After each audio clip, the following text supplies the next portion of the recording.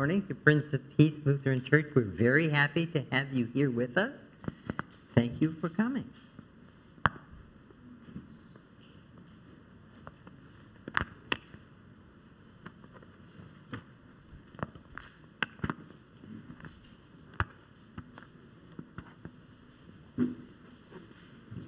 Please rise as you are comfortable.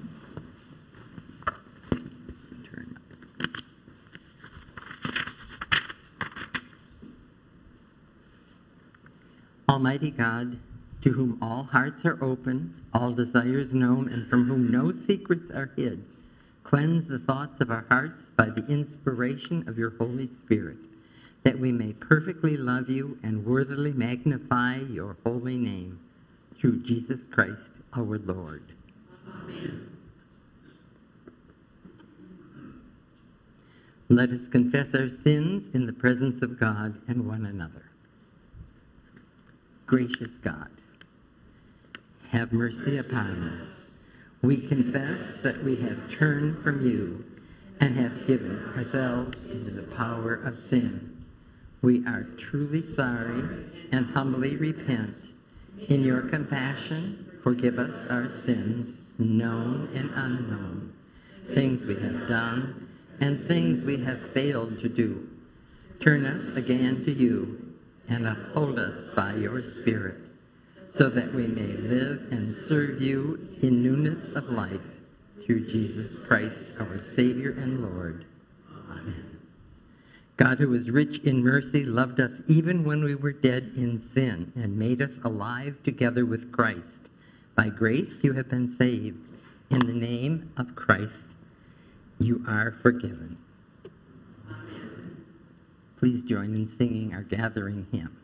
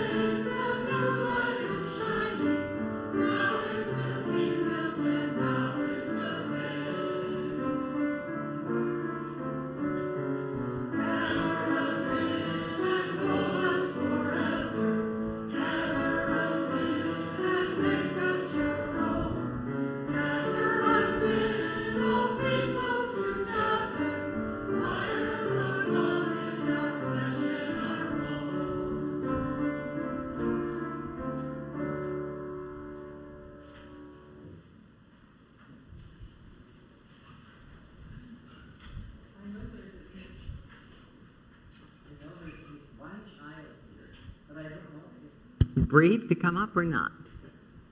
Okay, that's fine. Uh, I'm going to tell you what the children's sermon was anyway, although I'm not going to ask my assistant to take off his shoe. Uh, if you have a shoe that has a tongue in it, you know that sometimes those tongues can get you into deep trouble because they'll fold over, your foot won't go in, and there you will have a very sore foot if you walk on that. I looked at us, and most of us have on sandals or tennis shoes or something else that doesn't have some sort of slip on. But you know, we often get in trouble with the tongues that are in our shoes and the tongues that are in our heads. And the tongues that got wagging in the first lesson are the people from Israel. They murmured, they murmured, they murmured. They were murmuring against God.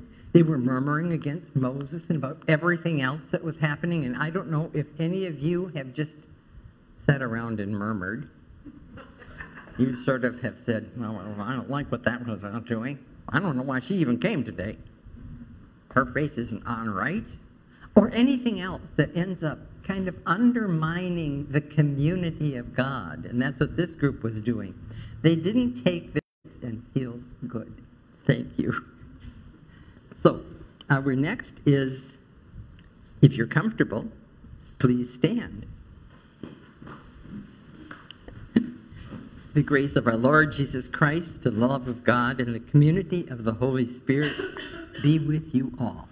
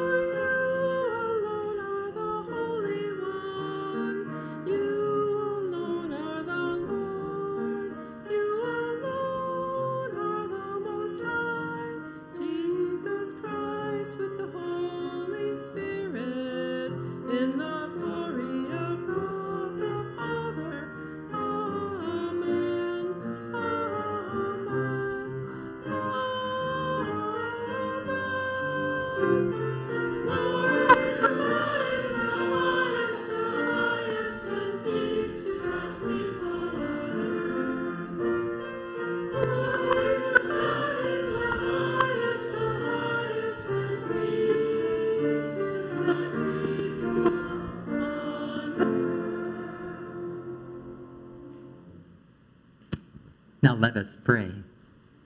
O God, eternal goodness, immeasurable love, you placed your gifts before us, and we eat and are satisfied. We fill us with this world in all the need, with a life that comes only from you, through Jesus Christ, our Savior and Lord. Amen. Please be seated for the readings.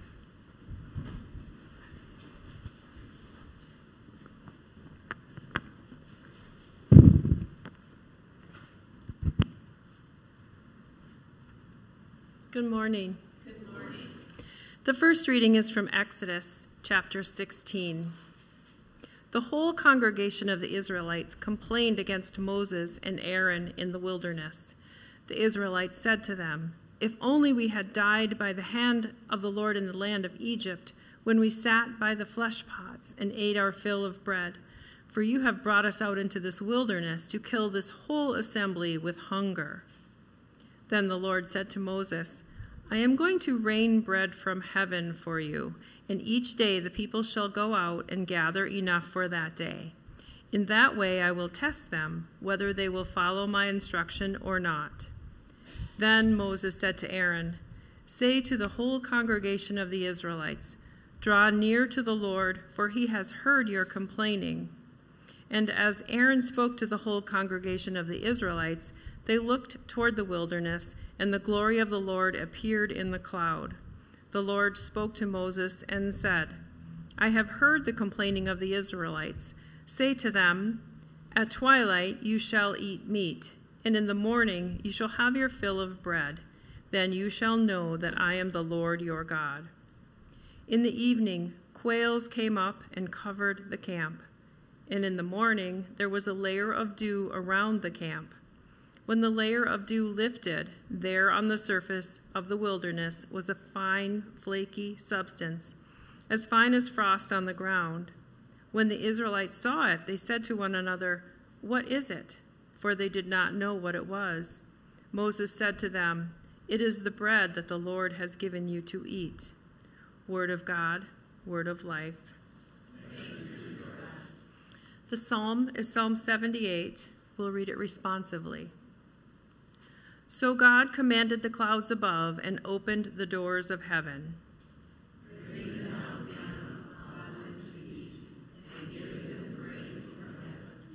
So mortals ate the bread of angels. God provided for them food enough.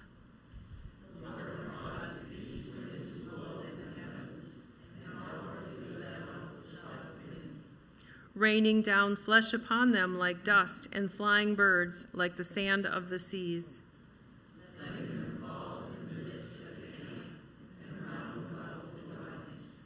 So the people ate and were well filled, for God gave them what they craved. The second reading is from Ephesians chapter 4. I, therefore, the prisoner in the Lord, beg you to lead a life worthy of the calling to which you have been called, with all humility and gentleness, with patience, bearing with one another in love, making every effort to maintain the unity of the Spirit in the bond of peace.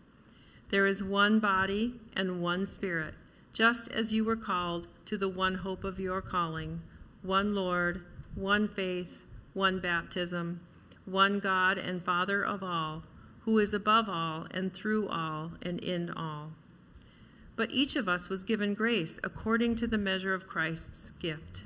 Therefore, it is said, When he ascended on high, he made captivity itself a captive. He gave gifts to his people. When it says he ascended, what does it mean but that he had also descended into the lower parts of the earth?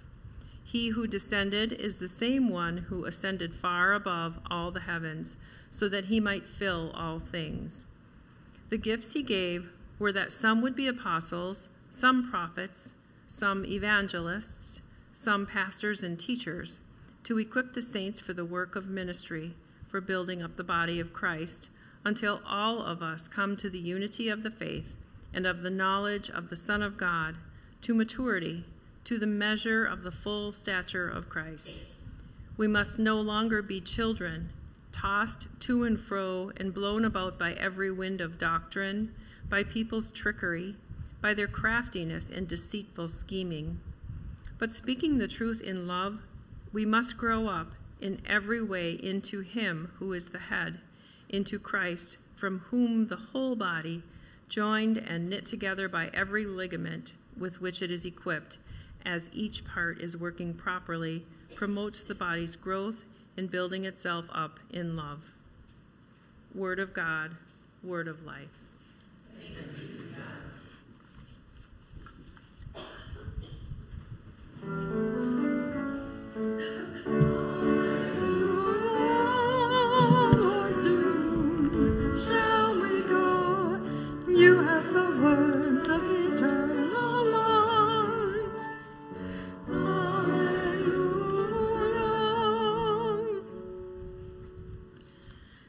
The gospel is found in John 6, 24 through 35. Glory to you, O Lord. When the crowd saw that neither Jesus nor his disciples were beside the sea, they themselves got into boats and went to Capernaum to look for Jesus. When they found him on the other side of the sea, they said to him, Rabbi, when did you come here? Jesus answered them, Verily, truly, I tell you, you are looking for me not because you saw signs, but because you ate your fill of the loaves. Do not work for the food that perishes, but for food that endures to eternal life, which the Son of Man will give you. For it is on him that God the Father has set his seal. Then they said to him, What must we do to perform the works of God? And Jesus answered them, This is the work of God, that you believe in him whom he has sent. So they said to him, What signs are you going to give us then, that we may see it and believe in you? And the works, what works are you going to perform? Our ancestors ate manna in the wilderness. It is written, He gave them bread from heaven to eat. Then Jesus said to them, Very truly I tell you, it was not Moses who gave you the bread from heaven, but my Father who gives you the true bread from heaven. For the bread of God is that which comes down from heaven and gives life to the world. They said to him, Sir, give us this bread always. Jesus said to them, I am the bread of life. Whoever comes to me will never be hunger, hungry, and whoever believes in me will never be thirsty. The gospel of our Lord. Please be seated.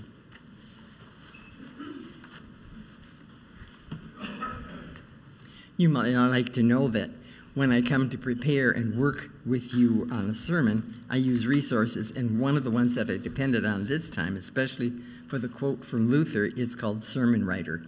You can find it online, and it's just great to read what somebody else might say about the lesson that's going on. But today, let us begin by lifting our hearts in prayer.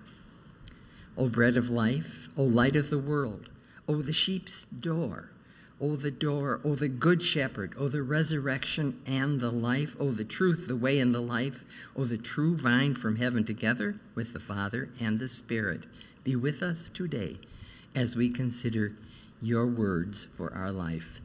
Amen. All of these I am statements in John, beginning with I am the bread of life, John is trying to expand our ideas about what Jesus is. We can hardly imagine what that is, but I ams are in a lot of them within this particularly uh, particular book. And one of the very first I ams was when one of the people in the desert, when she was by herself, I think her name was Tabor, said, Who are you? And he said, I am. Well, that wasn't very helpful, but in fact, I am is who we're talking about. We can hardly imagine what that means, but you probably noticed that last the last few weeks, I think about 5 of them have focused on miracles of feeding people. Times in the Old Testament and times in the New Testament have been mentioned for these weeks. Even in today's lessons, the readings for this week refer to Moses feeding people of Israel while they were in the desert. The psalm mentions that also. The gospel reading that we had today follows feeding 5,000. We feed people, guests, the best that we have. We'll join together following this service to eat and have some fellowship. And we often say that our congregation will feed people, and that's excellent, and there's nothing wrong with that. But if we look closer, is there another point? Is there some other kind of food that we might be looking for? Let's look at the questions that the crowd ask. Rabbi, when did you come here? Well, it really doesn't matter. He got there. They're not necessarily sure. But Jesus didn't go on the boat. They knew that. They hitched up with some boats that were coming around, or they walked back around the sea to see if they could find him, and they did find him. So his, their question, How did you get here? probably was more about transportation information. He got there in front of them. They hadn't seen him go. He wasn't in the boat left early. How did he get there? I don't expect that they thought that Jesus would say, Well, you know, I just walked across the water, although that is what he did. They were looking for for other kinds of transportation hints. He didn't answer that question. He pointed out that they were there because they had filled their bellies. He's not saying that physical needs are not important. In much of his ministry, he healed people and he fed them. But he asked this crowd to work for the food that endures for eternal life that God the Father will give them. This is what he is trying to say to them and then again to us. We probably also ask, What must we do to perform the works of God? I'm sure that we're asking for a clear path through laws, moral ideas of today. And somehow we feel confident that if we knew what we should do, we could surely do it. Well, I know that I have a set of rules for taking the diet, I have a set of rules for cleaning my teeth. I have a set of rules for trying to become more fit and to read the Bible, and I work at those things, but I often fail.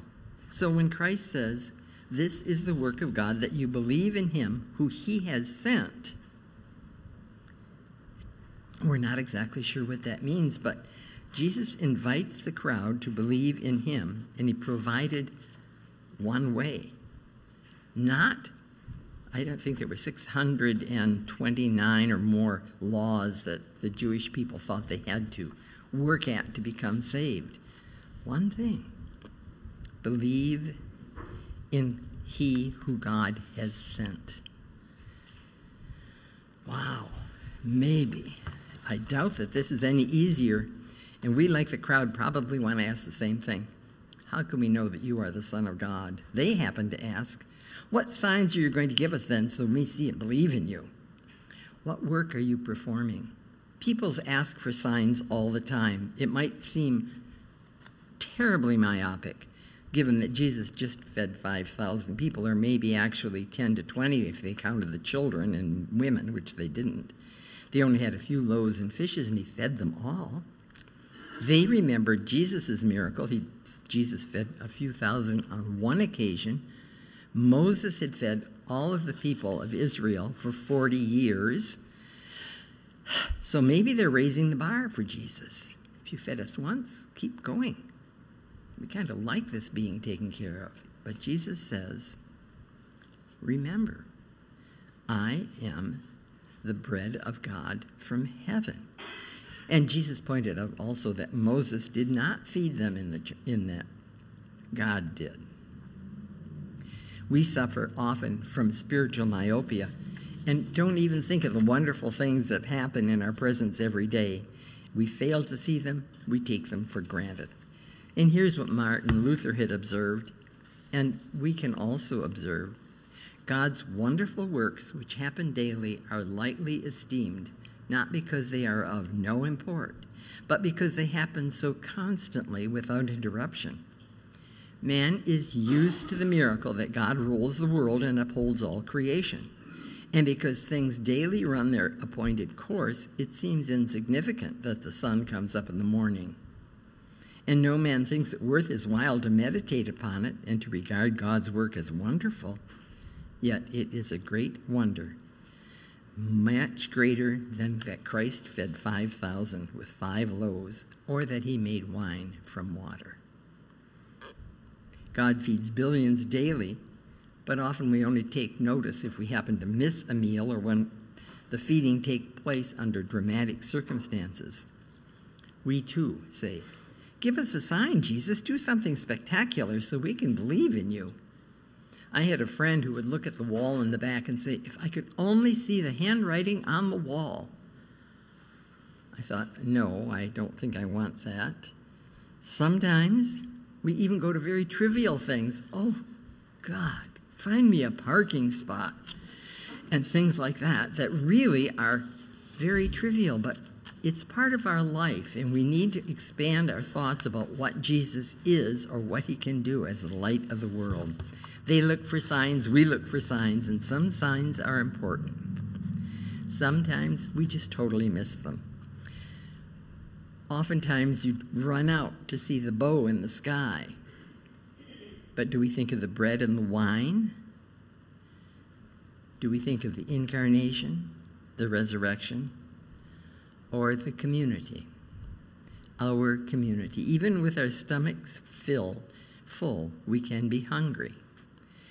And this, I think, is the bread from heaven that Jesus is offering a bread that can fill our loneliness, our isolation, our entitledness beyond what things that we have just simply to eat, a food for our soul, a place to belong. When my husband Jim died, many asked, Oh, what can we do? But I really had no answer for them. And then two people came and lived with me for the week. They did nothing, but they actually did the most. The assurance that I was not alone and that I was loved really, really helped. We need to be that community for the world or for the county or maybe for the neighborhood somehow so that they are not alone. Luther said that we should be little Christs to each other. So that's kind of a challenge. Be there for someone, do something ordinary for someone. I heard someone talk about sending flowers to someone. Wonderful. Something that you're not expecting. Something even as simple as saying to a child as they're in the grocery store, Wow, I really like the way you're helping your mom. The kid will be surprised and the mother will be happy. And so you have then made somebody else feel blessed by your words and by God. Sometimes it's simply accepting a compliment with grace rather than saying, Oh, really? This old thing? Just say thank you. Let us be able to accept that many times people are with us and they're giving us that companionship. Here in the congregation, or at the fellowship later, or in the world in general. Be the community of God. Be a blessing. Be a smile. Like the crowd, we can ask, Lord, or give us this bread always. Give us this bread always. And once you have it, you, it's your duty to figure out how to share it. The bread of life that gives eternal life was given to the world, not just Israel. It notice that the word is that God gives the bread of life, not that he gave it, because this is still going on, and you now are the blessing to go on to figure out how to pass this on. In response to their request, which back away said, Oh Lord, give us this bread, Jesus said, I am the bread of life. I don't know what you're going to do with that. It certainly isn't an easy thing any more than I am the way, the life, and all those other I ams that he had. But the mighty I am is with us here today, and he will be with you as your life goes forth. Figure a way to share that. So let us pray. O Yahweh, help us to understand that the mystery of this bread of life is just that a mystery that we cannot truly explain and do not need to. Guide us in our belief and unbelief that we may have faith in this gift, that it will lead to eternal life. Help us to be the community that pro- provides space for those with great faith and for those with just a flash of the possibility of faith. Sustain us in these times and give us peace. Amen.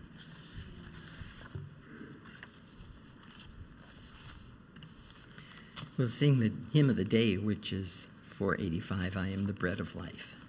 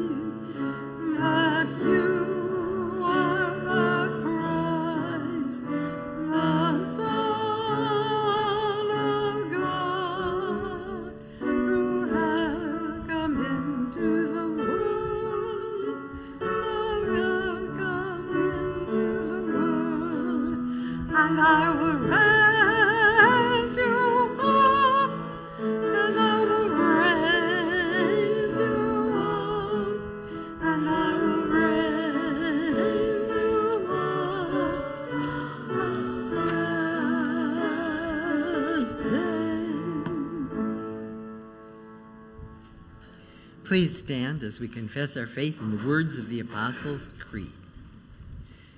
I believe in one God, creator of heaven and earth.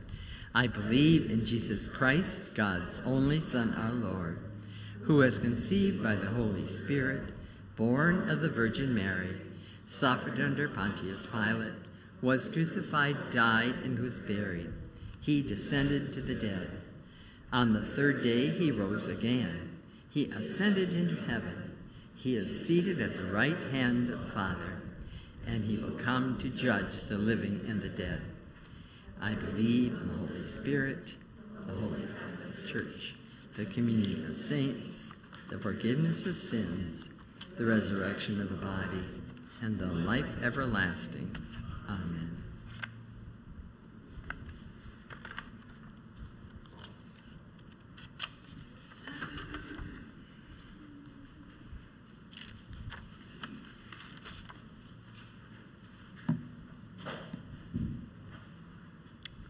In Christ and sustained by the Spirit, we offer our prayers for the church, the world, and all of creation.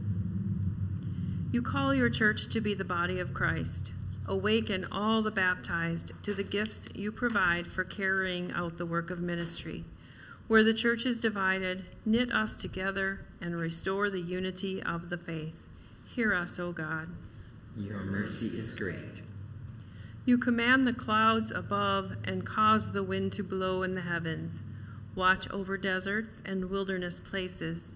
Regenerate rainforests. Defend species at risk of extinction. And strengthen the work of conservation organizations. Hear us, O God. Your mercy is great. You summon leaders to respond to the needs of your people. Instill those who govern with patience when confronted with grievances and perseverance in seeking what promotes the well being of the community. Hear us, O God. Your mercy is great. You draw near to those who cry out for help. Feed those who are hungry. Reassure those who are despairing. And accompany those who are imprisoned. We pray for all those who are sick or struggling, especially Tina Gutzman, Rena Ruhinen, Ellen Talbaka, Kelly Hendrickson, Alex, Bev Goodell, Steve Lang, Bob and Nancy Ranta, Harper Curtis, Bob Ball, Darwin Britton, Dan Burtonen, Emily, and Diana. Other names may be offered either silently or aloud. Dorothy, Matthew, Jeanette, my sister, her friends, my brother, his family. Rain down the true bread from heaven that gives life to the world. Hear us, O God. Your mercy is great. You receive all who come seeking a sign of grace. Make this congregation a place of hospitality for those accustomed to rejection. To those who have felt excluded here or elsewhere, prepare us to welcome them in the name of Christ. Hear us, O God. Your mercy is great. You provide food that endures for eternal life.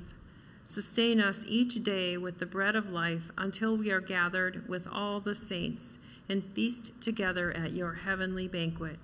Hear us, O God. Your mercy is great.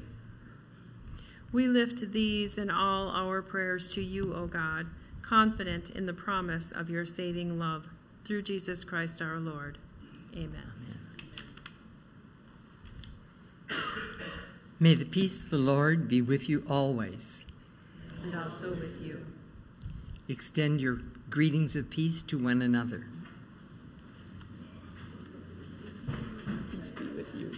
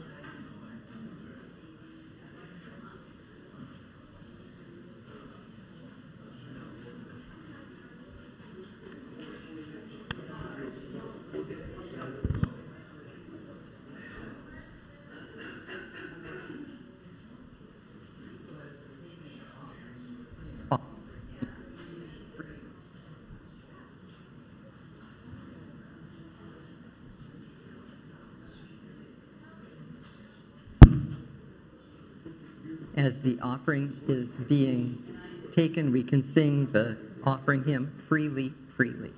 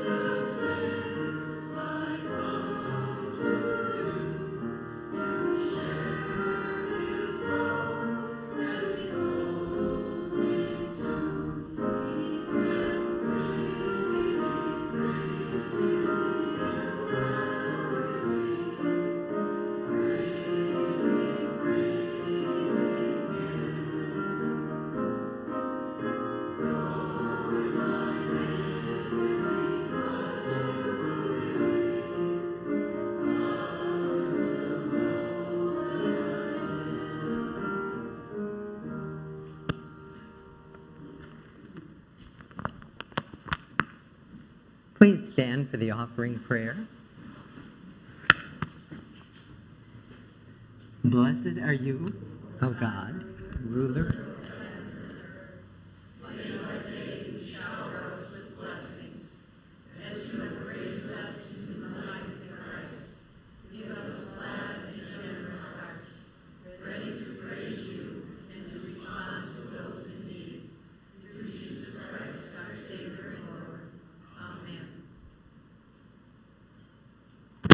Now let us pray as the Lord taught us. Our Father,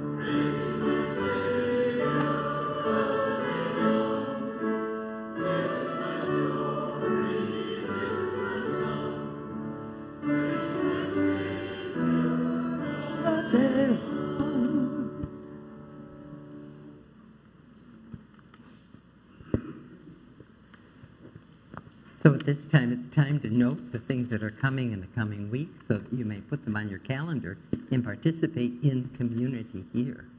But now receive the benediction. The Lord bless you and keep you. The Lord make his face shine upon you and be gracious unto you. And the Lord grant you peace. Amen.